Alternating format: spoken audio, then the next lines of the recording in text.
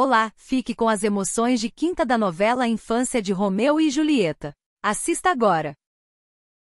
Todos os cachorrinhos, cachorrinhas dão, dão muito trabalho, né, filho? É, mas a trufa.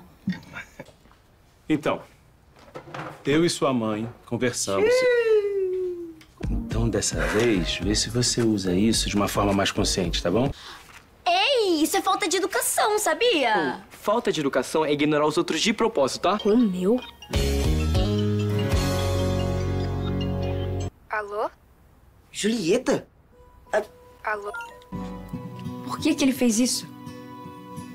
Que sem noção. Thelma diz a Mauro e às crianças que ela preparou o jantar, mas Mauro flagra a caixa de delivery. Enzo conta para Amanda que Theo e Lívia terminaram.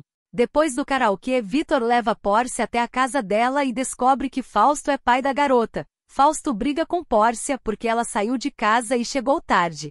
Leandro visita a casa de Glaucia e Dimitri mostra o desenho da Flávia ao avô. Ele se emociona. Leandro elogia os netos e Glaucia comemora a aprovação do pai.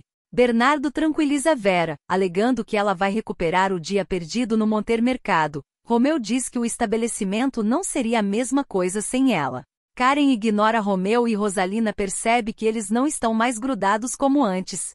O sistema do Monter Mercado volta ao normal. Após conseguir a informação que Glaucia contratou o hacker, Vitor ameaça Glaucia e pede um aumento. Deixe seu gostei e se inscreva.